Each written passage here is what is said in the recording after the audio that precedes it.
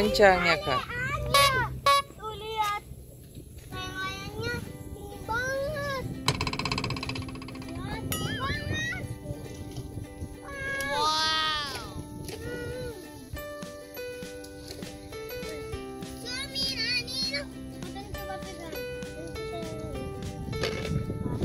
Ya gantian lagi.